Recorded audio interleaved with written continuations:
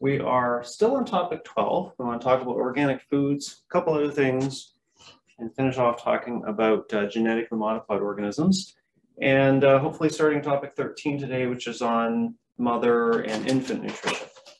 Uh, just looking at where we are, I think we're in pretty good shape to wrap up by the end of the semester, no problem. Uh, last few units are kind of, you know, about one lecture each. Hoping to have a bit of time at the end to talk about the exam. I think my uh, my goal is at some point, maybe next week, I will try to talk about the exam.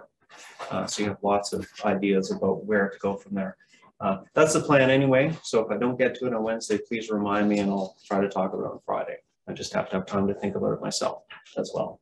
Uh, okay, so topic 12. Um, we had finished off here just talking about pesticides and uh, a couple of things to say about pesticides were that they're all different chemicals. Some of them come from natural sources, some of them are synthetic, some of them bioaccumulate, some of them do not. Um, and so it really is a mixed bag. Uh, some of them are extremely nasty. Uh, DDT being maybe one of the most famous historical nasty uh, insecticides that um, is basically banned in I think every country in the world except for one. And uh, anyway, lots could be said about DDT. Uh, it's in your blood. That's how bad it is. It's been banned for a long time, and it's in everyone's blood still. So it's it's it bioaccumulates. Uh, so people are obviously concerned about pesticides. I mentioned there's lots of formulas and things like that, products you can buy, methods for soaking your produce and all of those kind of things. And, and um, biggest thing you can do is just wash them with water. Uh, a little bit of soap's not too bad. Uh, kind of depends on what it is. I'm not, if I buy blueberries, I'm not going to be scrubbing every little blueberry. But an apple, it's not a bad idea to just, you know, rinse it and then dry it off with a tea towel or something like that. And, and uh, you know, those kind of things. But here's some ideas. There's lots of uh, websites that will give you ideas. Like I said, sometimes the ideas are contradictory in terms of, you know, soak in vinegar water, soak in baking soda, because one of them is acidic, one of them is alkaline, so it's the opposite thing. But maybe they both work. I have no idea. I've never tested this kind of thing myself. But lots of ideas on the internet. But water, not a bad idea. Um, yeah, and, and some foods, like I said, it's probably not a big deal. If you're removing the peel off of your mango, then that's not, you know, who cares? There's no pesticide in the inside or not very much. It's going to penetrate inside. Uh, so let's talk a little bit about organic foods. Um, organic foods are uh, generally they kind of mean they're not using some sort of synthetic pesticide. But what does that mean? Uh, it means there's a list of what is acceptable and what is not for organic foods. So a lot of people think organic foods mean no pesticides, but that's not necessarily the case. It means that they don't have synthetic pesticides of which are found on a certain list of you can use these ones and these are the ones you can't use. Uh, but organic foods is also a little bit of a philosophy. And you can see there's kind of this list of general principles about being sustainable, protecting the environment, recycling resources, uh, and you know, depending on who you ask, that could mean all sorts of different things. Um, turns out that organic foods are now regulated in Canada. Uh, different provinces sometimes have slightly different things going on. Alberta only really accepted regulation very recently. I think it was 2019 or something like that. So now if you say your food is organic, uh, you have to uh, meet a huge list of criteria. Just see there's a question or comment here. Let me just take a look. Somebody just got in for some reason Zoom will let me join the class. Oh, okay. That's a question or comment, but um, anyway, uh, so I'll show you what that list looks like. Uh, but like I said, it's you can almost think of as a little bit of philosophy. And a lot of it is definitely good intentions, okay? Um, but when you get into the research in terms of, you know, is it actually better? This is where it kind of gets a little bit of wishy-washy in terms of, you know, those kind of things. Um, so in Canada, there is um, a federal legislation, I guess it is, and then the provinces, like I said, some of them have their own little things going on. Uh, but this label here is the national symbol for certified organic food in Canada. If you're in BC, they have their own little BC thing. In Alberta, I don't think we have our own little Alberta thing. Uh, at least one of the other provinces had their own thing. I can't remember which one. Uh, and there's a whole list of things. It was actually really hard for me to find a really good succinct list because I was able to find these, you know, 47 page documents and things like that that went through all, and it lists, like I said, it lists pesticides that are allowed and not allowed and those kind of things. But this is sort of the, um, I guess, condensed list of what is basically not allowed, right? So a detailed list of synthetic pesticides. Uh, they're not allowed to be genetically modified, which we'll talk about that today. They're not allowed to be irradiated. You're not allowed to use sewage sludge. So sewage sludge basically means human waste used as fertilizer. And I know lots of people are like, what? But we use animal waste, right? And there are ways to process human waste to make it into um, a very rich fertilizer. Um, whole another thing you could get into on that, but, but that's not allowed for organic food, basically. Um, around drugs, antibiotics, hormones, and those kind of things, um, most uh, hormones are banned for animals, not all. So there's again a list. Antibiotics, you're talking about regular use is not permitted in the feed, but you can use it to treat a sick animal. Um, so there's kind of a list of, of those, but generally those things are reduced anyway, drugs and hormones and whatnot. And, uh, and there's, there's a few other prohibited substances, uh, things that can be put in fertilizer and whatnot. I don't really know a lot about fertilizer soil science, but if you hit all these criteria and your food is verified by independent, I guess, verifier, I don't know, you can't do it yourself. You have to hire somebody to have your food verified, apparently. It has to have 95% or better organic content, right? Um, that's a pretty good bar. Anyway, so that, that's what organic means in Canada, um, which is kind of an eye opener for a lot of people because I think a lot of people have different ideas, particularly around the pesticides, right? And uh, some people, it means that, that, you know, chickens have to be free range or not. And, and that's not on the list, actually. In terms of how you treat the animals is not on the list. It's, like I said, the philosophy around being sustainable and environmentally friendly is kind of there, but how you do it, sometimes implementation is different on, on different farmers. Uh, so here's the question, should you eat organic?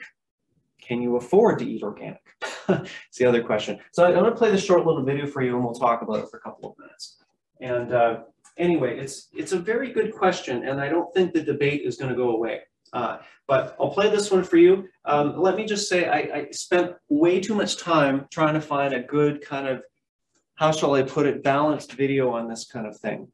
Um, if you type in organic foods on YouTube, you will find these, I don't know what you want to call them, food warriors that are like, you must buy organic. It is the way to save the planet. It's the only thing to do. And, you know, I mean, or if you find farmer advocacy groups that you know talk about feeding the world and those kind of things. Trying to find something that was a little more balanced was, was a bit of a challenge, but I found this one was pretty good. Um, this is by Nutrition Bite, by the way, and they have a they have a podcast. And if you're if you're really fascinated by nutrition and science, um, it's actually one of the better ones out there. It's pretty good. But they have this this little blurb. So I'll play this for you right now. Like I said, this is the kind of thing where definitely views get pretty polarized, and um, I find organic advocacy groups, they're, they're very, um, they're very passionate, right? We'll just say that. uh, but I'll, I'll play this for you here. Have you noticed how many more organic food products there are now compared to a few years ago? Well, there can be many reasons for why people may choose to eat organic foods. Many do so because they think organic foods are safer, more nutritious, and taste better. But is the extra cost worth it? If you are health conscious but live on a tight budget, should you eat organic? Let's find out on this episode of Nutrition Bites. One of the biggest concerns people have about conventional or non-organic foods is pesticide residues and their effect on health. In the US and Canada, there are strict regulations for the maximum allowed level of each synthetic pesticide based on the available research on their safety. These regulations are in place for fruits, vegetables, meat, dairy products, grains, and some processed foods. While organic produce is grown without the use of synthetic or man-made pesticides, the use of organic or plant-based pesticides is still permitted. The downside is there's not much research available on the safety of these organic pesticides. In comparison, you can reduce the amount of pesticide residues on your food by up to 90% by simply washing, peeling, and cooking them. Also, so far there has been no long-term studies on the health differences of people consuming either predominantly organic or non-organic diet. It's been reported that 72% of consumers believe that organic produce are more nutritious, but a study published by scientists at Stanford University looked at levels of nutrients including protein, fiber, magnesium, ascorbic acid, calcium, iron, and beta-carotene and potassium, and found no overall difference between the organic and non organic foods. But it's also important to know that when it comes to produce, other factors can also affect the nutritional content of food, such as soil quality, temperature and light, planting and harvest dates, soil type, and storage. What is true is that organically farmed poultry and dairy products contain higher levels of omega-3 fatty acids, which may help to lower your risk of heart disease. A common belief is that organic produce tastes better, but is that true? When consumers did blind taste tests for organic and non-organic foods without knowing which ones they were tasting, and they were asked to rate how much they liked the foods, it turns out that no difference was found for lettuce, spinach, arugula, mustard greens, tomatoes, cucumber, onion, bananas, or apples. But it did seem like people preferred the taste of organic yogurt better. Interestingly, when being told that a sample of yogurt was organic, consumers reported that it tasted even better than it did before which just goes to show that perhaps food labels have more of an influence on our preferences than we thought. The good news is not choosing organic will not be harmful for your health in any way, so it's really up to you to decide whether you want to spend the extra money. There are many other ways to eat healthy without eating organic. Both organic and conventional fruits and vegetables need to be washed thoroughly before eating to ensure they are clean and safe. And be sure to choose a variety of foods that are healthy and balanced to supply your body with the different nutrients that it needs. Please subscribe for more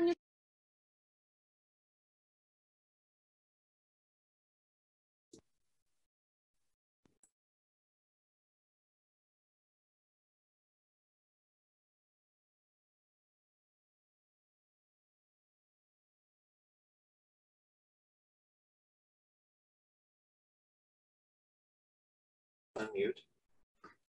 Okay, unmuted now. Um, so lots to think about there. And I think one of the key things, right, is there's a lot of long-term studies that have not been done on organic foods.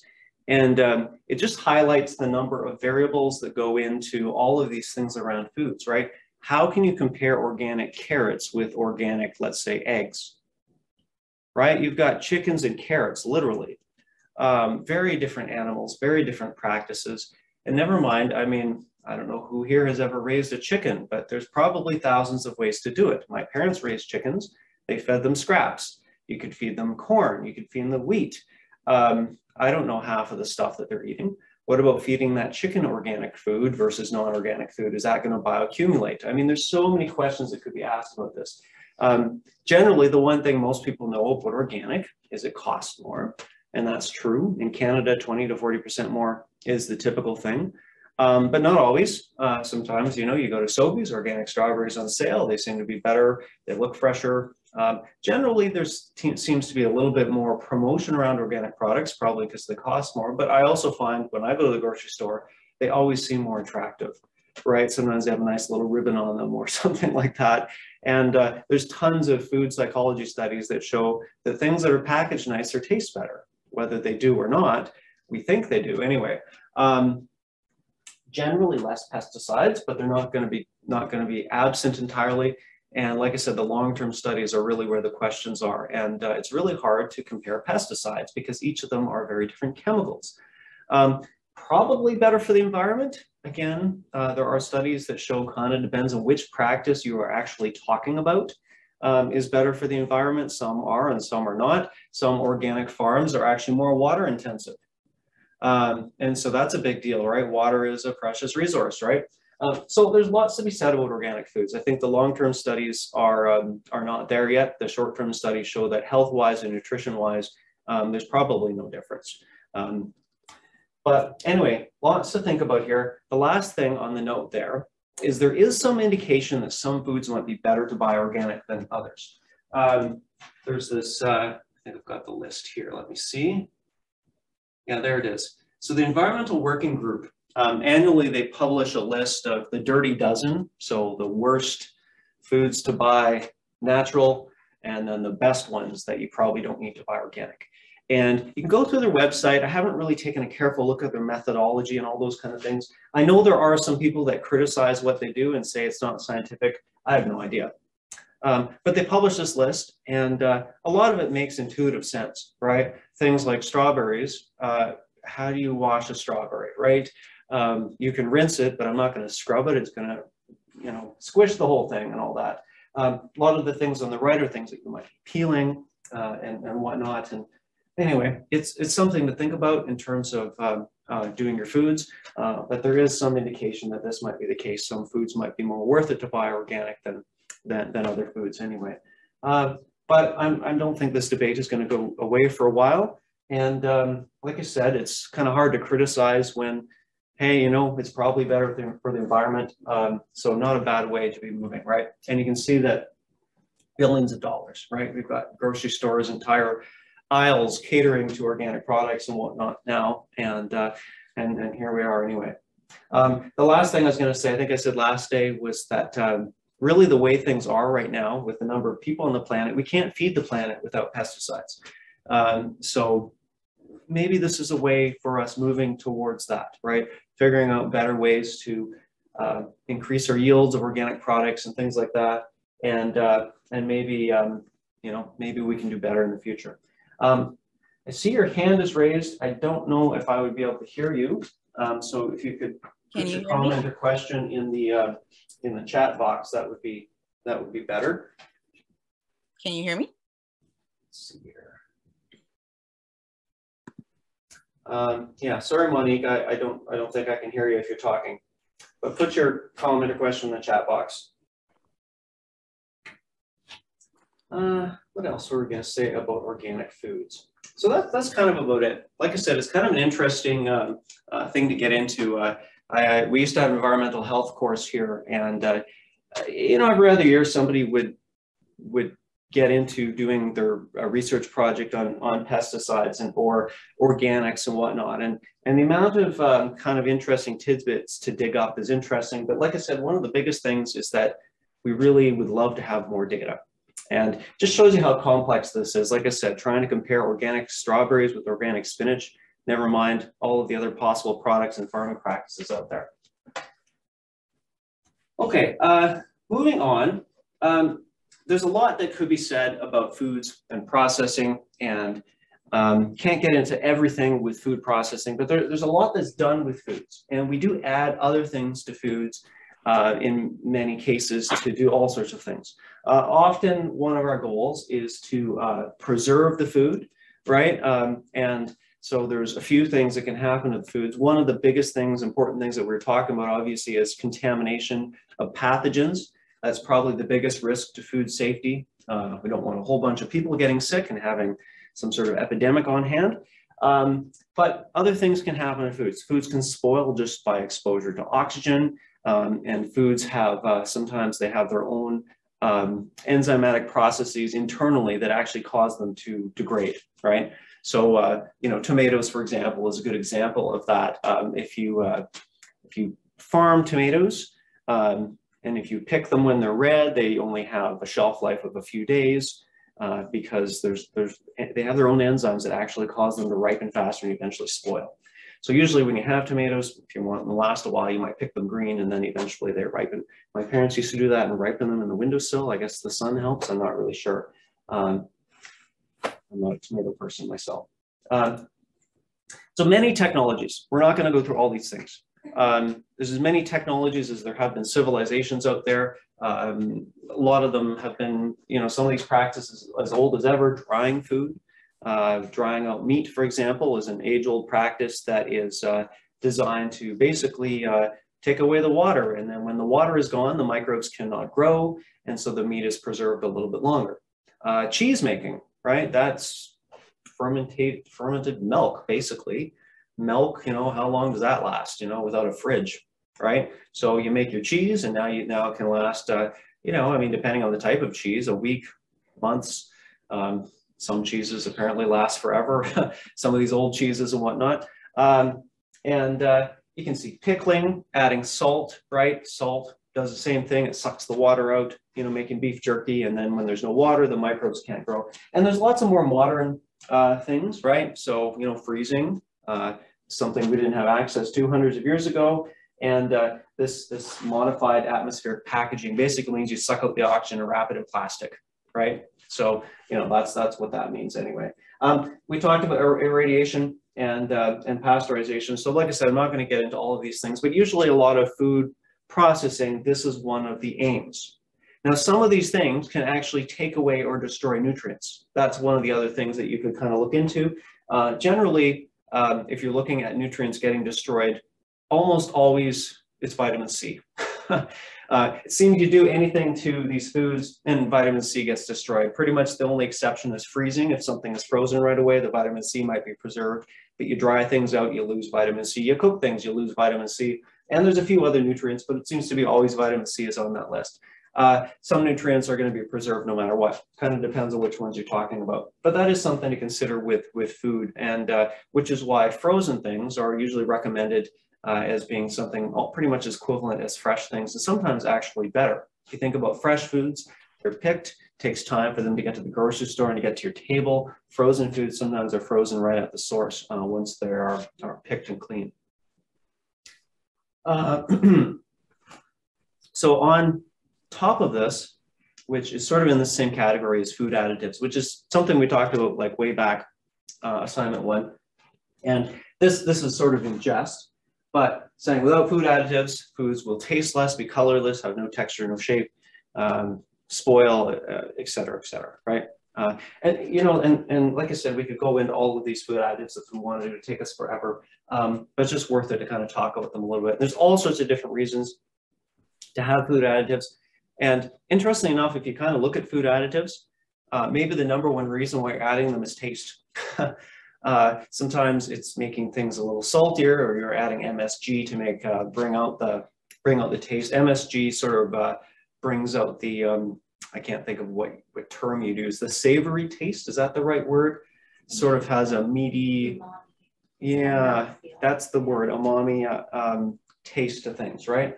Um, that's kind of the number one reason. But you know, you could talk about colors, you could talk about adjusting pH. Uh, there's all sorts of things there. We're not going to go into all of those here. Uh, there's a list here in the textbook, kind of just talking about some of them, and few of these things we touched on over the semester. Like I said, I'm not going to get into them in, in really any detail.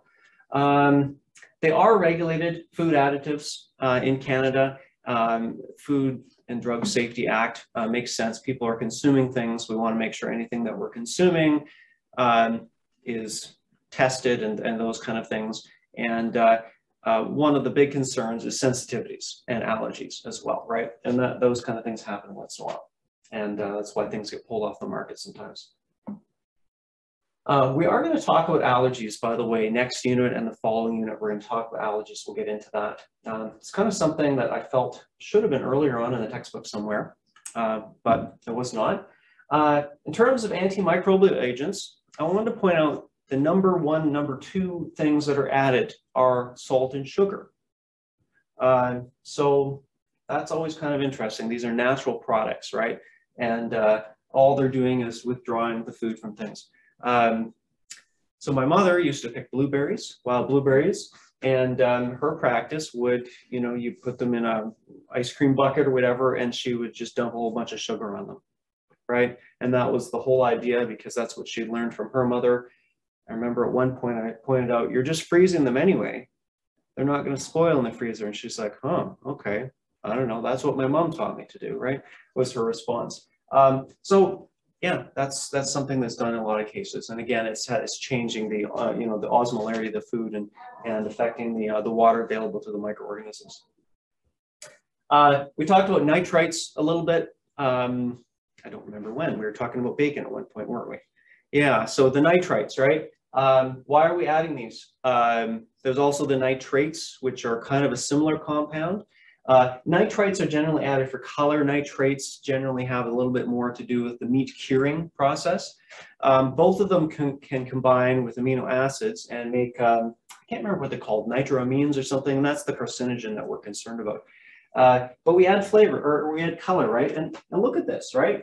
You know, you look at there's some, um, some corned beef, And, uh, you know, right away, my eye is like the one on the left, ooh, the one on the right, yum, all right? Because we've been trained to want to like meats that are, you know, red, it makes them look fresh.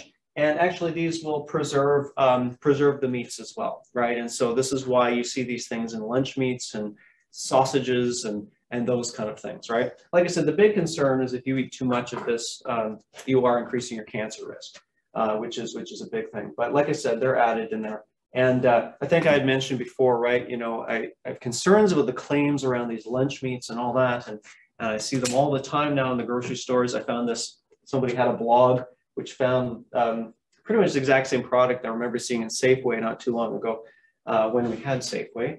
I'm really sad that Safeway's gone. They had the best bakery in town. Where do you get good bagels in, in Fort McMurray now? Right? Yeah, they had great, great bagels. Um, anyway, enough about bagels.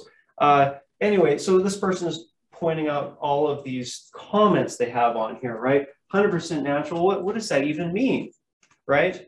Um, you know, there's actually no food legislation around what you can call things are necessarily natural. It's from a pig, it's ham. Um, but this is the same stuff here. And uh, lots of people will turn their nose up at spam, yet it's basically the same pork, right? Um, but you can read her blog and, and, see what she has to say about this kind of thing. But like I was saying before, sometimes these things stay natural because the nitrites are from celery salts instead of uh, instead of synthetic chemicals. But it's still a nitrite. It's the same chemical. It's not changing anything. Um, and uh, and you're eating lunch meat right? Don't, you know, kid yourself thinking you're getting something extra healthy out of the deal, right? Um, not all lunch meats are equal, right? Some are much saltier. If you're worried about hypertension, you need to worry about those kind of things. But there are there are other things you can put on your lunch, right? Chicken breasts and things like that. They're probably a lot better for you. But again, you know, some lunch meats are super cheap, right? You go to superstore, get this big package of lunch meat for five bucks. Kind of hard to resist that. Have a have a great sandwich, but just don't overdo it. Uh, antioxidants, um, you know, we talked about those. Uh, some of these antioxidants are, uh, are vitamins that can be added, right? So we were talking about vitamins being antioxidants uh, in the foods. And so why not add them to the foods, right? And not only now you can say your food is fortified for certain vitamins, but uh, in, in theory, it's actually helping, um, helping preserve the food a little bit as well. Uh, but anyway, not going to really, like I said, dwell on these on these uh, for, for too much. Um, there's MSG there. There's the word umami, savory, meaty, earthy, right? I can sort of picture the taste of it, but I, how, do you describe taste, right? It's kind of like try to describe the color blue to somebody who's colorblind and can't see blue, right? How do you do that? you just have to experience it for yourself. But it's one of the um, it's one of the kind of the five main tastes, right? You know, salty and sweet and sour and, and those kind of things. Um, some people have uh, sensitivities to MSG. I don't know too much about it. I, I just know I remember people talking about it. And uh, um, there have been some studies in mice, and like any of these chemicals, if you feed enough of it to a mouse, it will have health effects, right? If you feed enough garlic to a mouse, garlic is really good for you, but you, you can OD on garlic, you can OD on nutmeg, you can OD on so, all sorts of things pretty much anything is a toxin if you have too much of it. Uh, the question is, you know, what about normal uses of these things, which is always the question around toxicity of, of anything uh, when we're talking about human health. Uh, another thing to talk about um, is there are lots of incidental additives that end up in our foods. So our food is in packaging, right? Often that packaging is plastic. And so we often eat little bits of plastic because of that right? It's just, it breaks down. Uh, plastic, you know, maybe a long-lived product, but it is not forever. Uh, very few things are forever. So there are additives that end up in there just kind of by accident. A big one that's been, um, you know, it's been in the news a lot for, I don't know, 10 years. I feel like it's sort of, we don't hear about it quite as much now is BPA. So I want to talk about BPA for a few minutes. BPA is, is uh, an abbreviation for bisphenol A and it's a plastic additive. And um, when you get to plastic polymers, it gets really complicated. There are thousands of types of plastics, um, but there's really kind of um, a few sort of common types. And bisphenol A is an additive that makes clear, hard plastic. So water bottles, uh, food containers. Um, doesn't have to be in those kind of things. I, have got actually a, a, picture of some products. Uh, it's found in dozens of things where plastic is found uh, for modifying the plastic properties. You can make plastic soft, for example. That's the phthalates, um, which is another additive we're concerned about as well. I'm not going to get into the phthalates. They make plastic soft and malleable, um, whereas the uh, BPA is usually found in, in transparent, but it's a hardening um, effect as well, right? So we want our plastic to do its job, right? Which can be many things. It could be piping, it could be toys, um, and it could be food things such as water bottles. It actually um, canned food, right? A lot of people don't realize that is actually lined with a very thin layer of plastic, right? Um, probably so that the metals in the can, don't. I don't know why. I don't know much about food canning. Um, it's found in cash register ink, right? So if you work retail and you're touching those cash register uh, um, ink all the time, um, you probably have a slightly elevated amount of BPA in your blood from touching that ink because it gets on your fingers and can actually get in your blood that way. Kind of crazy to think about, right? And, and so there's been a few recent studies done on that too, because uh, this is the question, are these people at higher risk, right? You know, you work at the grocery store and it's like, wow, I'm touching like a hundred of these things every hour. Um, you know, is this the risk? So this is where the controversy is around this. And uh, so uh, there's concerns about this, and there definitely are some studies that show in high levels, we're talking about some pretty serious concerns. There was a factory somewhere in China years ago that I don't know what they're doing, probably a plastic factory. And um, these men got exposed to really high concentrations of BPA, and then they ended up with all sorts of fertility issues. Um, and uh, it turns out that that's the thing about BPA. BPA is, um, it's basically a known estrogen mimic. And there's a bunch of studies done in animals, again, high concentrations where you, uh, you know, you treat, for example, some, uh, there's a famous fish study where they treated these fish with high levels of BPA in the water and, uh, and all the males were suddenly acting like females, right?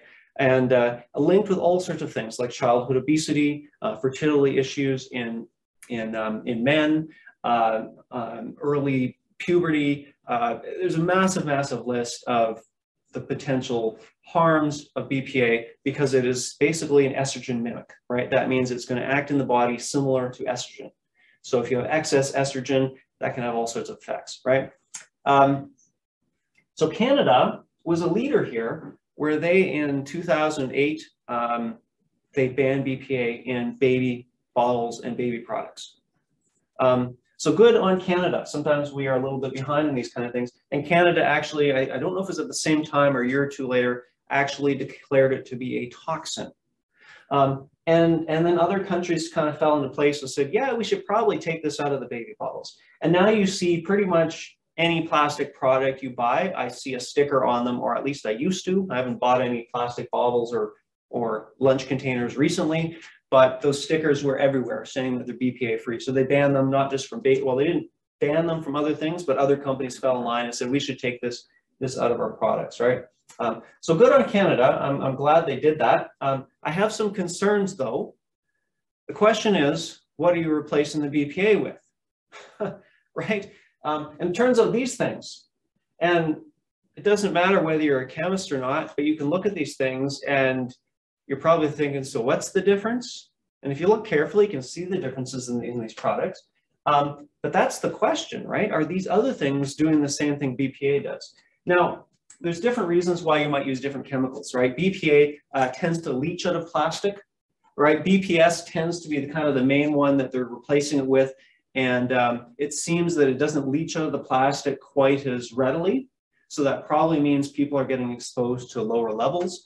Um, but there's studies now in Canada that show, I think it's something like 85% of us have BPA in our blood and 70% of us have BPS in our blood now, right? So the question is, what is it doing there? Um, hold on a second. I had, um, thought I had a quote here. I don't have, oh, yes. Um, I do have a quote here, right? So what is the Canadian government saying? Um, it turns out that all the data seems to be showing that the normal levels most of us have in our blood are probably not having an effect. And this is based on a bunch of risk assessment and all that. And this is the statement from, from the government of Canada, and they're looking at what normal exposure levels are going to be for a normal human. How often you're exposed to pla pa uh, plastic packaging and those kind of things. Um, of course, the question is, like I said, what about people who are exposed extra, right? Maybe people who are working at a cash register and whatnot. Usually that's not kids, thankfully. Kids are the most sensitive again because they're developing and, uh, you know, uh, all those kind of things. Uh, that generally seems to be the case. Um, but of course, you know, there's lots of concern groups. So you're seeing BPA getting banned. But like I said, my big concern is what are they replacing it with is the BPS. Uh, yeah, so um, here we are. So here's, what can we do? That's the next question. Okay, so let's take a look. Here's some suggestions, right? Don't use plastic if you have something better, right? Especially uh, these kind of things, uh, reusable water bottles. Um, people tend to like to leave these things out in the sun and whatnot, and, and it's heat that is actually going to allow chemicals to leach from the plastics. So if you're uh, uh, have something like this, then uh, you don't need to worry about it as much. Um, oh, there's the note about the plastic. The other thing about heating, right? If you have um, your lunch and it's in a lunch container, um, put it on a plate before you heat it up in the microwave. Heat and plastic, right? This is the kind of thing we need to avoid. Uh, and lunch containers as well. I don't know if it's on here. Maybe I'll just see what else it has to say. You know, microwave food and glass or ceramic containers. Um, don't put your food if it's hot into the container. If you made some soup, you have leftover soup, let it cool down first, and then put it in your plastic container, put it in your fridge, right? So heat is kind of not our friend when it comes to plastics and leaching, okay, of chemicals. And that's what we want to avoid. Um, and you can heat things up in, like I said, the, there's all sorts of things you can use. The other thing too, which I uh, didn't put on here, I think I got this from a website with suggestions, um, but the other big one is your, your lunch containers, right? Um, if they start getting scratched up, get rid of them, right? Uh, I don't know whether we should put an expiry date on them or whatnot, but uh, get rid of the old ones, especially the scratched up ones, because the scratched up ones are definitely going to have chemicals leaching out from them. There's actually very good data from some, some mice studies where uh, I think it was actually, um, I think it was a University of Calgary researcher, and she noticed that one set of mice, again, the fertility issues, right? and the uh, their plastic feed dishes and stuff were scratched up. And then and then she literally did the experiment and said, okay, I'm going to take some fresh mice and uh, I'm going to scratch up all their water bottles and stuff, and then some some are going to have brand new stuff. And, and and she saw a difference and measured the BPA in their blood and all that. So that's something that definitely we want to avoid. But good luck avoiding plastic entirely. Seriously. I was reading a, um, a blog about this uh, this uh, woman, or uh, she was a uh, um, a journalist, right? And, uh, and, and she tried to do a month with minimizing or trying, trying to go to plastic zero was the goal, right? You know, I mean, so she had to find a wooden toothbrush, right? And something that the bristles were also not plastic um, was trying to shop in bulk. Of course, they want to put everything in plastic bags. So she was bringing glass jars to the bulk food store. It was kind of interesting and funny, just talking about the, the lengths that she had gone through to try to avoid plastic and was just going crazy trying to do it. It was very interesting. But not to vilify plastic. Plastic is great for sanitary things, like I said, keeping out microbes and oxidation of your food. Um, but you know, I think uh, I think we can probably do better. and probably use a little less of it. Uh, sometimes we add nutrients to foods. I guess we mentioned that already. And uh, for very good reasons, sometimes we're fortifying things. Um, people are drinking milk and the milk has vitamin D. So that's a good thing for us to have because we're in Canada where we're probably in the winter months not getting the sunshine that we need and so on. Uh, why you would add vitamin C to fruit drinks. Most fruit drinks have vitamin C, but I guess adding extra, I guess, is, is not a bad thing. Um, but uh, you can see I found this orange juice. Orange juice has a lot of vitamin C in, it already, and this has apparently three times the vitamin C, so great. Um, uh, probably one glass is more than enough you need for a day, but anyway, vitamin uh, and, uh, and other uh, nutrient fortification is, is pretty common. Okay, so let's talk about genetically modified organisms. Um, try not to go too crazy on this one, but uh, there's lots that could be said about genetically modified organisms. And there's a lot of terms that are used out there. We could talk about genetic engineering. We could talk about biotechnology, recombinant DNA, um, CRISPR-Cas9. Um, and some of these things are general terms. Some of them are very specific uh, regarding the technologies that are actually used and, um, and so on and so on. so I'm not going to get into all of those details. Uh, you can always ask me anytime. But uh, generally, what does it mean when we're talking about something that's genetically engineered or a genetically modified organism? It usually means we are doing something in a lab. Okay? And I'm trying to be very specific about that because you can genetically modify organisms without being in a lab. You can breed puppies and you can breed them to all be brown ones and you are modifying the genetic traits of those organisms, right? Um, or at least you're controlling the genetic traits of them. Uh, so generally we're talking about some sort of scientist uh, using some sort of modern um, biotechnology kind of technique, of which there are many. Again, sometimes people split hairs and say this is acceptable and this is not, et cetera, et cetera. But We'll kind of get into a little bit of that. But generally, why are we doing this, right? Um, whole bunch of reasons, right? We're, our farmers want to have crops that are pest resistant. Um, that's a big one. Uh, if you can make some corn that won't be eaten by those by those caterpillars, or if you can, uh, you know, make it so that uh, you know your your sugar beets are not uh, eaten by certain types of worms, and so on and so on and so on, right? So pest resistance is a big one. Um, sometimes we're, uh, we're trying to modify them to make them healthier, right? Um, I was just reading about a tomato that was made in the States somewhere and it has uh, something like 10 times the amount of antioxidants in it, right? And, um, and it has a, a juicier skin or something like that. I, I can't remember, but basically tons of antioxidants. That's great. You know, way more than are found in blueberries is what she said. But she, turns out the scientist wasn't putting it on the market. She was just kind of doing it for fun as not growing in her own garden. Um, but anyway, uh, some of these things are on the market, some of them are not. Uh, stress uh, tolerance, that means things like can, can, uh, can handle heat or, or saltier soils and those kind of things.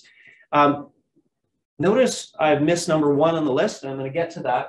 Uh, that is the big one, the one that is done, which is one reason why people hate GMOs the most, is resistance to herbicides, right? So it's almost like not logical. It's like, what, you want to use more pesticides? Um, and that's not necessarily the case, and I'll talk about that in a moment. But that's the big one. That's kind of the number one um, modification that's done on genetically modified crops. Um, so all of these things, in theory, are good, okay, right? You know, good intentions and those kind of things. And uh, we'll kind of get into that. I noticed actually I bought um, I bought some bread uh, recently maybe not recently, 2019, back of 2019. Um, and I noticed it said non-GMO on it. I'm like, interesting. Um, yeah, okay.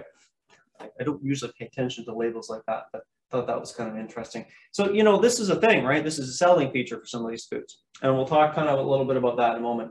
Um, the question is, right, you know, what are the crops that are being grown that are GMOs? Um, a whole bunch of them, it turns out. Uh, this is a graph. Uh, you can see this is talking about common GMO crops in the US. Canada is pretty similar. We don't grow cotton in Canada. We don't grow papayas, but these are things that are on the on the on the grocery shelves, right? Uh, so the big ones are corn and soy, right? Those are kind of the big ones that are found pretty much everywhere. And if you look in your food products, how many of them have corn and soy? Uh, a huge number. Potatoes as well. That's another big one. Uh, so probably you've you've eaten some genetically modified crops. And um, there's thousands of them in Canada. A number I found was 30,000. I, I, don't know if that's true or not, but it was a number I found. And um, a lot of it is used to, to feed animals. Um, so if you're not eating the crop directly, you might be eating the animal that has eaten the crop, right?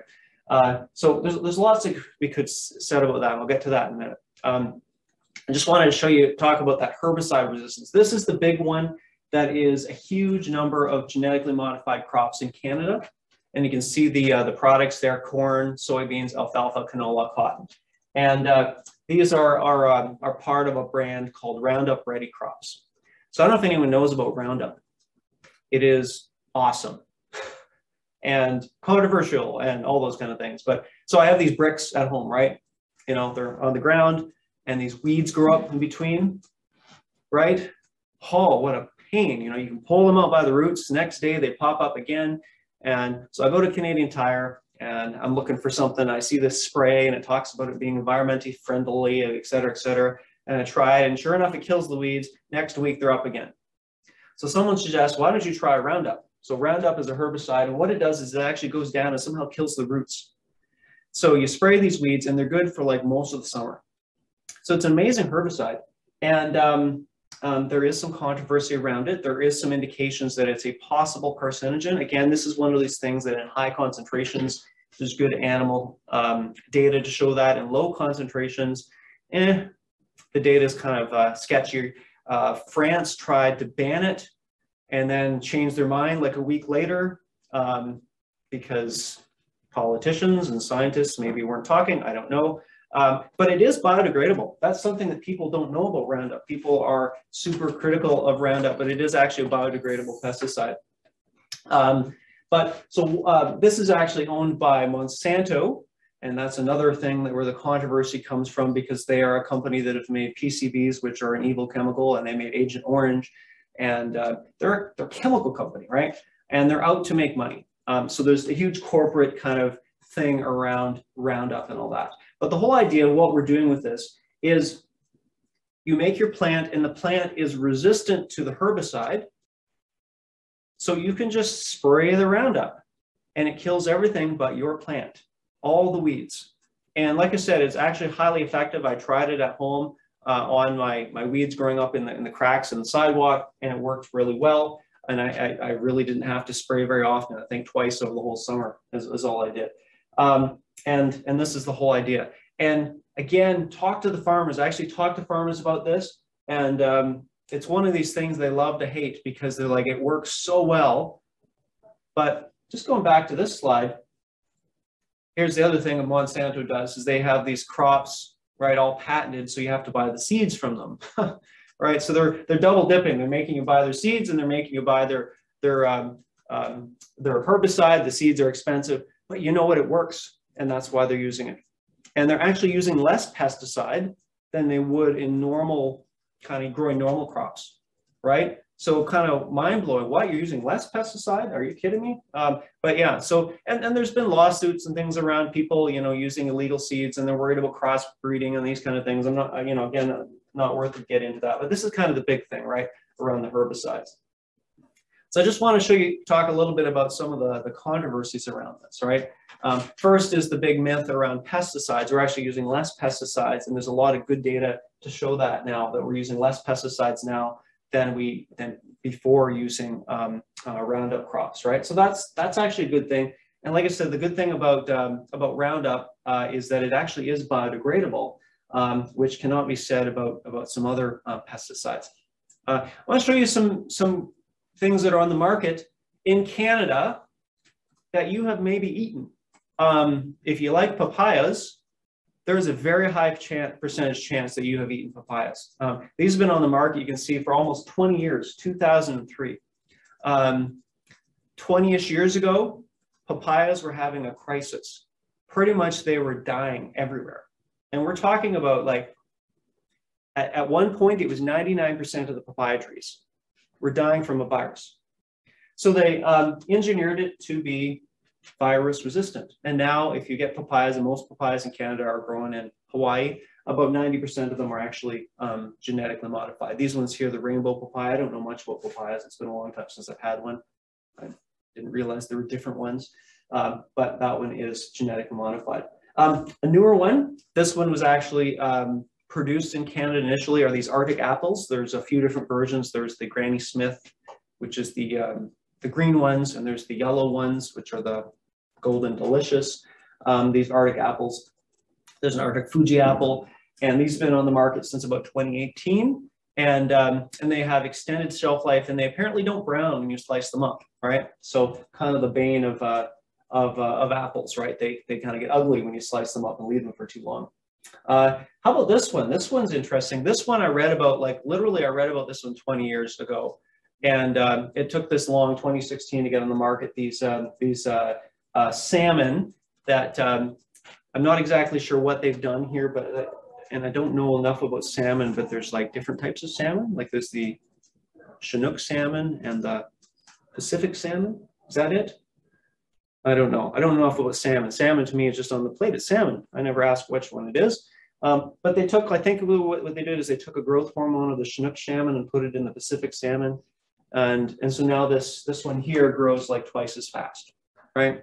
Um, so there's some interesting things going on. This, these are all in Canadian grocery stores, and it's possible you've, you've eaten some. There's uh, uh, potatoes as well that don't brown as well. Um, so let's talk a little bit about the concerns about these things, right?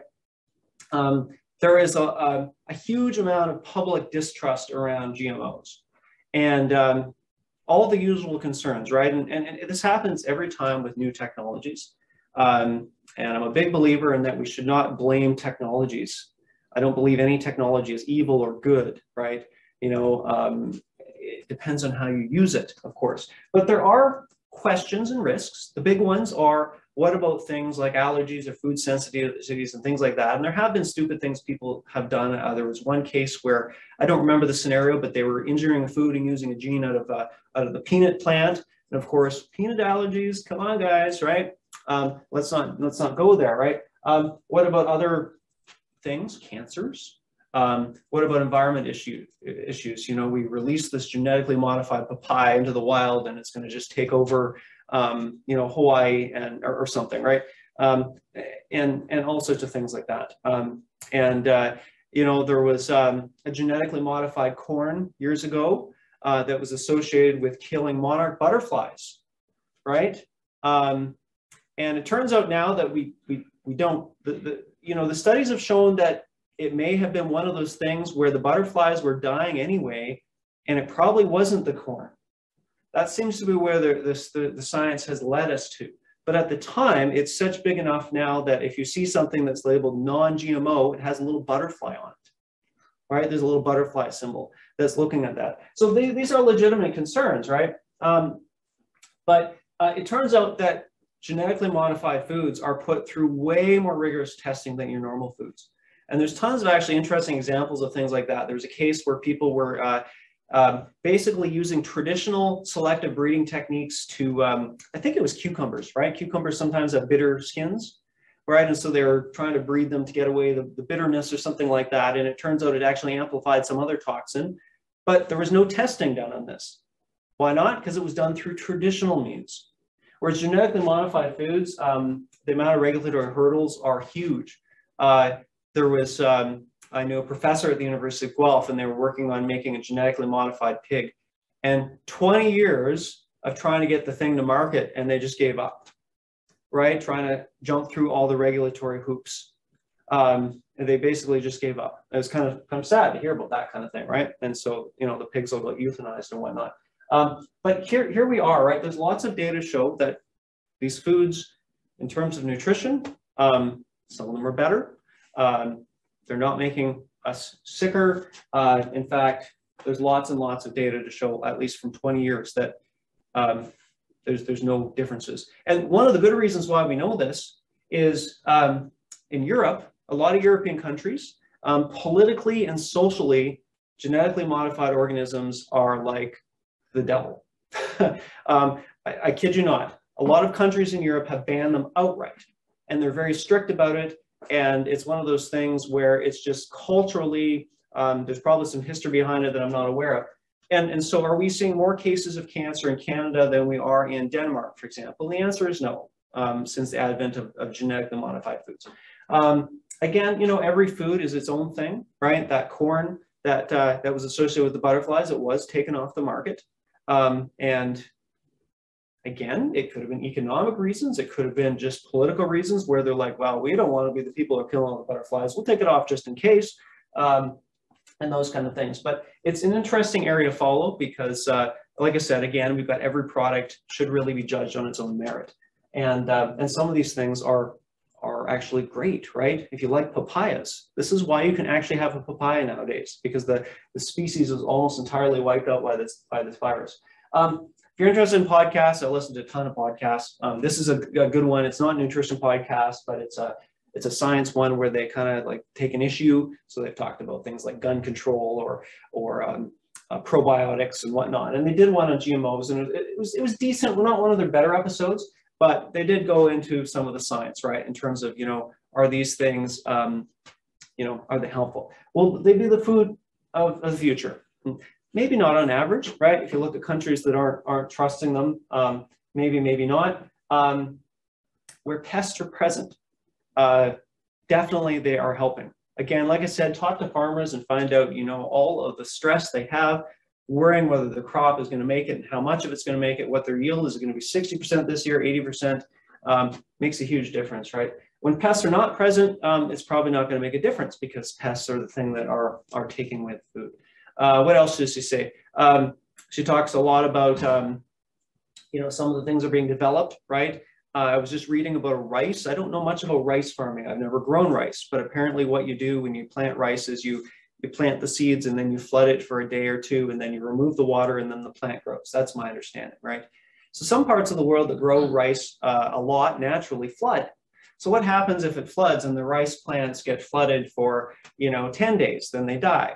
Well, um, somebody had, I think it was in the Philippines, um, they had developed a variety of genetically modified rice that can tolerate being flooded for extra long. And so now it's become a really popular brand of rice there because people, they're trying to feed their families, right? So that's, that's a big deal. Uh, but anyway, interesting uh, episode there. Um, this is the one that's been talked about for a while here uh, and kind of goes back to some of the things that we've been talking about. Um, this is golden rice as developed uh, primarily by this guy here. You can see he made Time magazine and, and um, he was looking at rice and realizing that rice is the number one crop in the world, uh, the biggest uh, source of calories for many people in the entire planet. And it's not necessarily the most nutritious, right? You know, depending on the variety of rice, there might be a little bit of thiamine in there, and it's mostly starch though, right? Uh, so the question is, can we fortify rice somehow? And um, and so this is the project he went on. And there's actually a couple of varieties of this that have been developed now. But this golden rice, the idea was vitamin A deficiency is pretty common in developing countries, right? So vitamin A, remember, um, uh, is uh, uh, deals with vision. And so this is actually a, a way to uh, help children in developing countries uh, develop eyes properly right? We're talking about a preventable method of, of uh, a method of preventing blindness, technically, right, by nutrition. So the, the rice plant makes vitamin A, actually makes beta carotene, right, um, which is a precursor to vitamin A. We can get that from carrots. Uh, makes it in other parts of the plant, but doesn't make it in the grain. So this plant has been engineered to produce the vitamin in the grain, and it's beta carotene. It's kind of an orangish color, and so you kind of orangish golden rice, they call it. And uh, um, yeah, so that was that was awesome, except for again the deep mistrust of genetically modified organisms um, on the planet. Uh, his primary market initially was was was uh, African countries. African countries are of course much closer to Europe, and culturally there there was a mistrust of it a little bit more. Um, you're starting to see it rolled out in different places. They're growing in Puerto Rico. Um, they were growing in the Philippines. And here's the sad thing, right? You know, farmers are getting some free rice to grow. And believe it or not, some eco-terrorists went there and burned down a bunch of rice fields um, because of fear and mistrust around genetically modified organisms. Um, yeah, so this one's been around for a while and slowly getting rolled out. And you know, it's it's a new technology and there's a lot of a lot of fear behind it. And uh, um, a couple of other things to think about, right? let's just talk about this, this here, right? Um, you know, you ask people how they feel about things, right? Um, and this, this is, you know, this is how people make decisions, right? We, would love to think humans are, irrational but we, we're not. We, we make a lot of decisions on things how we feel, right? So sister, how do you feel about these genetically modified strawberries? Um, well, these have not been designed in the lab. Um, these have been made through traditional breeding methods, right? if you've ever picked wild strawberries, you know, they're teeny tiny things, they're amazingly delicious. And um, these big ones, if you look at the genome of these things, it is weird compared to the wild relatives. There's been some massive genetic modification that's going on, and it's all been by traditional selective breeding techniques, really only a couple hundred years ago. Um, so what is natural? These big strawberries we get in the grocery store are not natural. They cannot grow in the wild either. That's the other thing. Um, tons of products like this. What about watermelon? Who does not love watermelon? Um, if you take a look at the natural fruit, uh, apparently it's bitter, um, it's tiny, it's, you know, not that desirable. Whereas the modern fruit that we're getting, well, there's tons of varieties. They're, they're creamy, they're juicy, they're crunchy, you name it. Um, and they're, they're very, very different organism. Again, something that can't naturally grow in the wild. Uh, and it turns out many of our foods are like this. I don't know if anyone knows what that plant is. All right, that's a natural plant. And humans, over thousands or hundreds of years, have selectively bred it to make a whole bunch of things. This is all the same organism, right? Cabbage, broccoli, cauliflower, and all those other things there. Um, kind of like, yeah, these are not natural things, right? So, you know, when we talk about natural foods, um, what are we really talking about? That's kind of the question, right? Uh, corn is a really interesting example too, because corn is, it, it cannot grow without humans. Um, and, and, and it was actually took people decades to even figure out what the natural version of corn might actually be. And it turns out it's this plant here, uh, teosinte, or te I'm not sure how to say that. Um, it's, a, it's a hard, tough grain that you have to boil. And I don't even know why you pick it. It's very tiny. Um, and people of the Americas uh, long ago somehow took this and made it into this nice juicy um, thing here, right? Um, that can't be grown naturally and um, is sustaining many people on the planet. Uh, and any food that we have that we've domesticated, you know, compare a modern pig to a wild pig. Um, they're smaller, they do grow faster, um, they tend to be less hairy. Uh, it's not the same organism anymore. So this is kind of, you know, some of the last thoughts around genetically modified organisms, right? In terms of, you know, what we're doing is not unusual. Humans take things and we adapt things. We're just using new technology to do it. And uh, we are right to question, you know, whether things are safe. Um, but, uh, you know, let's not throw the baby out with the bathwater or whatever you want to say, because uh, I don't think all things are bad because of one technology. I think we got to judge things on their own merit. Anyway, um, I think that's it for, uh, for that unit there. Uh, so I have the quiz open up and uh, that's quiz 12, it should say, right? Um, I was just somebody just pointed out I had the expiry date on, on the previous quiz, quiz 11 done. I fixed that now. So if you've tried that and, and uh, it, it, should be up and running uh, for, um, for quiz 11 and quiz 12 will be due uh, April 8th. Okay, 20 minutes. So talk about a few things here. We'll get too far in the next unit. Okay, just that one out.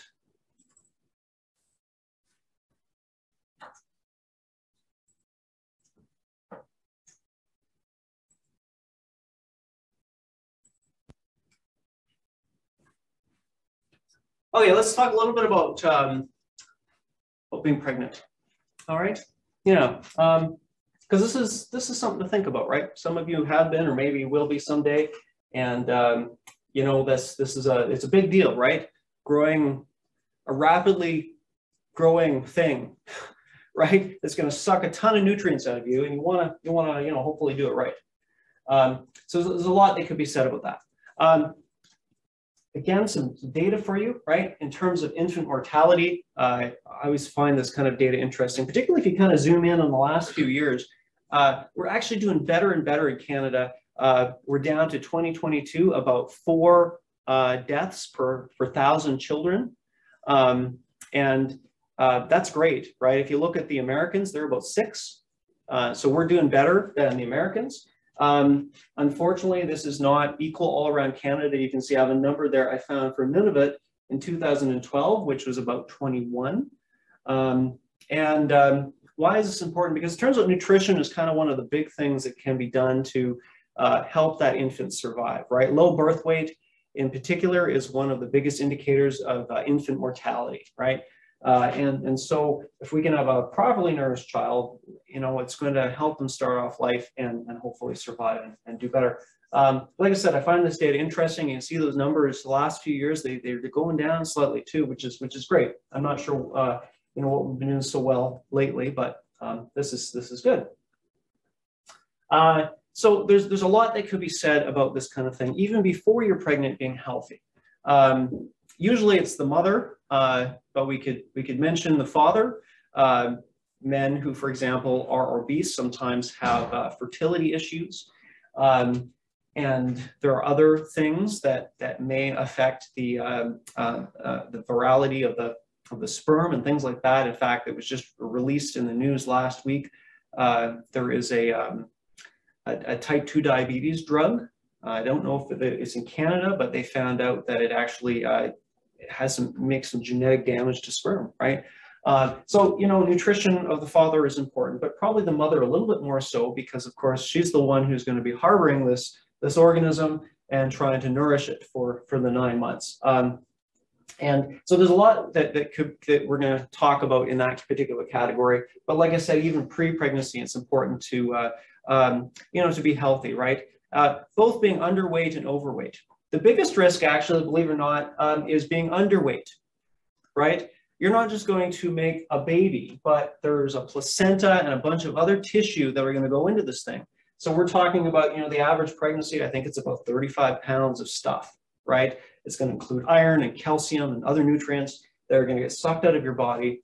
And uh, if that placenta is not as healthy as it should be, um, it's going to affect the nutrition of the baby. And of course, that is that's the uh, like I said, the low birth weight is one of the biggest risks to child uh, mortality. And uh, so worth talking about. Let me just take a peek at this next slide here. Yeah, I do have a, a risk um, uh, slide here. Um, being overweight as well uh, sometimes can can have effects, and I'll, I got that on the next slide as well. But this is what a low birth weight is defined as, uh, five and a half pounds. So that was me. I was less than five pounds when I was born. um, so I was at high risk, obviously. I was, I was a month premature, right? So that's why um, that was the case. And, uh, and, and so I, I, made it out all right. So I'm glad uh, to be here, of course. Um, so just this is sort of a summary of some of the risks here. Uh, underweight, like I said, is the big one. And the low birth weight um, not only leads to higher possible mortality, but a bunch of other things, right? Um, sometimes having a, a, slower start at the beginning leads to a, a smaller stature, um, sometimes lower IQ. Um, and uh, another one is just higher risk of chronic diseases. So I don't think they fully understand this, but the, the, the idea is that the, you know, the infant in the womb is trying to compensate for the lack of nutrients, right? And so it becomes, you know, hyper efficient at, for example, absorbing fat. And so sometimes children who have low birth weight are actually higher risk of, uh, for example, uh, adulthood obesity and type 2 diabetes and things like that. Um, so there, there are risks there. Uh, risks of being obese, um, People who are heavier uh, can often nourish babies and the babies can be higher birth weight, which of course can lead to pregnancy complications, which might mean you need um, a C-section or other complications like that, other interventions. Um, the other thing about having an extra large baby, sometimes extra large babies that are born premature aren't recognized as that. And premature babies tend to have a higher risk for certain things, you know, heart defects, jaundice, a few things like that. And, and, it's not always caught with larger, larger premature babies, if that makes sense. Um, and, uh, and, and it makes sense, right? Like, I don't know if, if anyone's ever been in a hospital and seen the premature babies, they are small. They are so small. I remember when my son was born, he was eight pounds, which is kind of a roughly an average weight. Uh, I think maybe slightly lower than eight pounds is an average birth weight, right? And um, had to go back to the hospital on day two or something like that for, I can't even remember what now. And they brought him in there with those premature babies. And it's like, holy cow, like they were so small. I could not believe it. It was, it was just incredible. Um, other risks to mom, uh, gestational diabetes, we'll talk about that a little bit. Uh, hypertension, infections, things like that are all, all uh, higher risks for, uh, for people that are, are high birth weight. Um, so having a good start for the baby is, is important. And uh, the biggest thing, of course, is the, the placenta. I don't know if everybody knows what a placenta is. It's kind of like this big sack of tissue that's mostly full of uh, blood vessels, right? And uh, what happens is that the, the baby's has some blood vessels and the, the mom has some blood vessels and they run parallel, right? So the mom's blood does not mix with the baby's blood.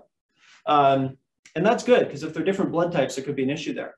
Um, but basically the blood runs side by side and the nutrients from the mom's blood, so whatever the mom has eaten and gets into the blood, uh, is going to pass through that barrier and get into the child's blood, right? And so that's kind of what's going on in the placenta. So it's this massive amount of tissue and um, much of it is blood. So it's going to require a lot of iron to, uh, to be built.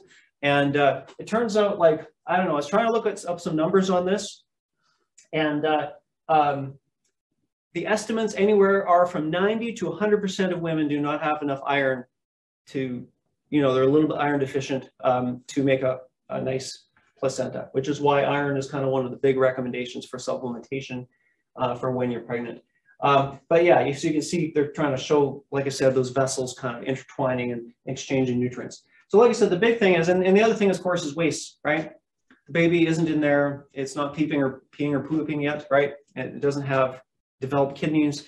Um, it's not eating solid foods. All the wastes are going out uh, as well uh, through this system. Um, what was I going to say about this? Yeah, uh, you know, we're not going to go into all the things about pregnancy. There's lots of risks. Uh, some of them are a little bit more obvious than others. Um, you know, we're not going to talk about smoking while pregnant, uh, but it's the same idea. You're putting stuff into your blood. It can get into the baby's blood. And so there's risks of, of all sorts of things. Some of these things we will touch on a little bit here or there. Um, but uh, like I said, I'm not going to get into all of these, uh, all of these, these factors here. Uh, you can see this is a, a little chart showing when, um, when crucial periods of development are for different uh, uh, tissues. And uh, so a, per, a, mother's nutrition um, and what she is eating and exposing herself to during these particular stages can have massive effects on the baby. And uh, going back to BPA, right? Um, there's at least one study that shows a mother exposed to high doses of BPA early on in here can actually lead to um, underdeveloped um, underdeveloped uh, genitalia in males and uh, and possibly um, abortion uh, of of male fetuses. Uh, and, and it's kind of there's some weird research done on this. There's um can't remember where the town is. It's somewhere near Sarnia, Ontario, and it's a, it's an indigenous community. And um, so they, they're kind of, Sarnia is famous for being Canada's kind of chemical factory hub, right? So whatever is going on in this town, they don't know. But something like four out of every five, five births are female children. Right? So where are all the males? um, they don't know. They figure they're getting exposed to something. Um, it's a big mystery at the moment, at least last time I checked on it. So early, early stages can affect all sorts of things. Um, so what are we going to eat? Everything. Everything on the plate and more for, with some pregnant women. Um, but we, we need to make sure you're well nourished, right? Uh, and there's lots of eating guides for these kind of things, right? Uh, and um, it kind of depends on the woman in terms of what where her circumstances are. Uh, you can see the, uh, the big ones here, right? Folate, calcium, and iron.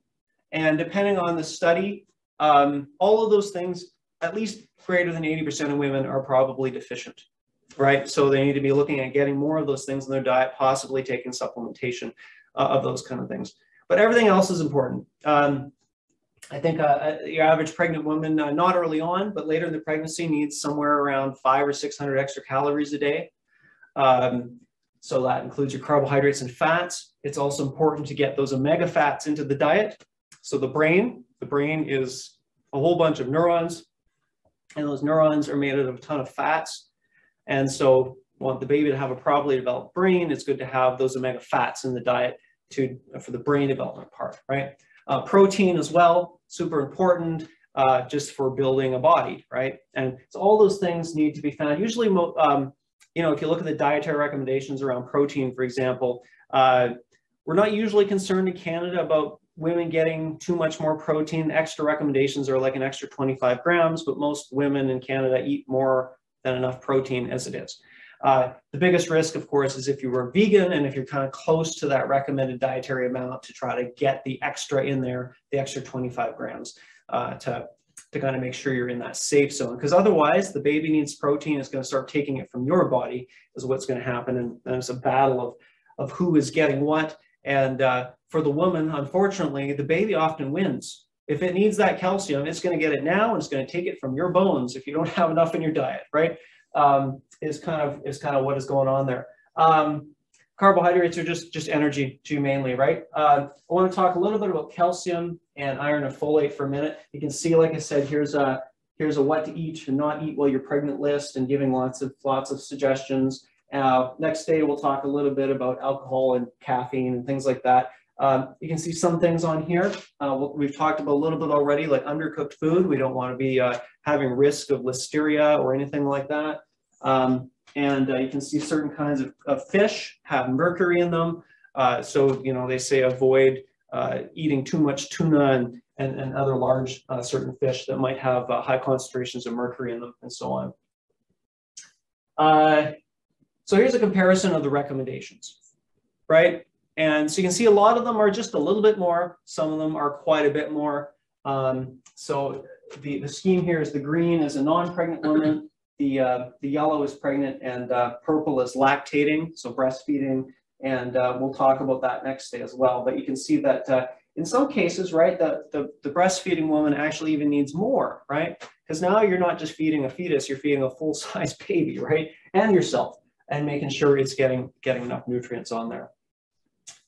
Um, so like I said, I want to talk a little bit about iron and folate and calcium for a minute, and then we'll, we'll wrap it up there. Um, we did talk a little bit already about these prenatal vitamins, um, which are famous for having folate and iron in them. Sometimes they have other things in them as well. Um, but uh, vitamin B12 and folate, usually vitamin B12, we're not, people are not usually that deficient, um, but it, it is it is essential for building new cells, right? And and uh, found in higher concentrations in animal animal uh, foods.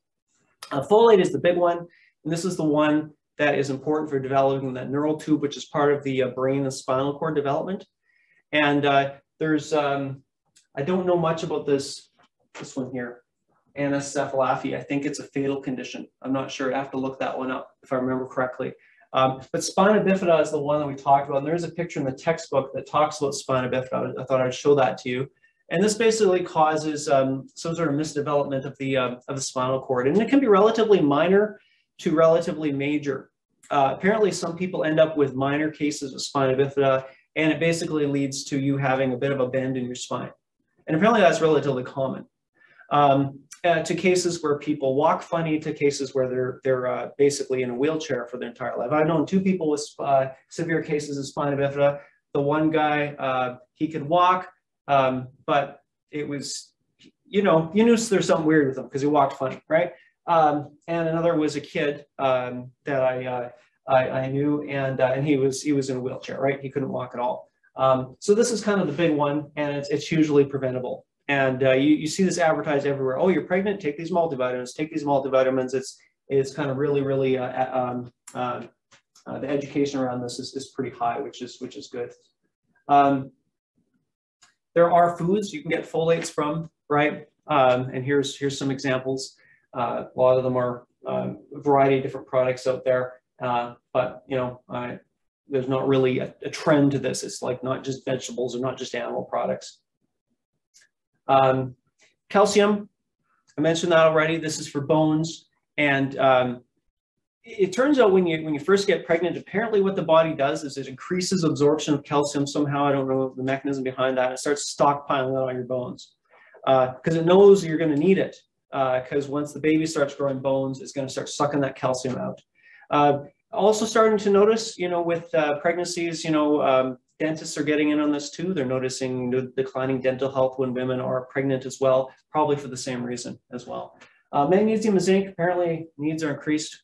Usually uh, deficiencies are less, a lot less. So iron is the big one though, right? Producing a lot of blood and um, the, the woman's body, I guess, again, somehow increases its ability to absorb iron. And uh, uh, from what I have read, it, it, seems that a lot of women, up to possibly 100%, are somewhat iron deficient uh, for at least producing a fully developed placenta. Um, but anyway, um, good to have iron in the diet. So just back to this, I think we I showed you this slide before. I added one other thing on here that I had learned recently is that apparently vitamin A is reduced in um, in women's multivitamins for prenatal vitamins. Um, but then I went, you know, back to here, right? And I didn't see any evidence of this. So that's why I put the word usually in there because uh, I didn't see any evidence of this from what I saw in the nutritional information. But you can see, right, we've got the folate and the iron. Those are the big ones. There is calcium in here, but it turns out that the prenatal one actually has less calcium than the, so I'm not sure what's going on, but calcium supplementation is one of those things that calcium supplementation is not usually absorbed as well as getting calcium out of foods. Um, so there's some questions as to, as to how much that helps. Some of them have um, omega fatty acids in them and things like that too, to try to help out with the, uh, uh, the prenatal uh, aspect of it. Anyway, as promised, I'm going to stop there. I was hoping to finish a few minutes earlier, but um, here we are. So thanks for coming. We will see everybody next week.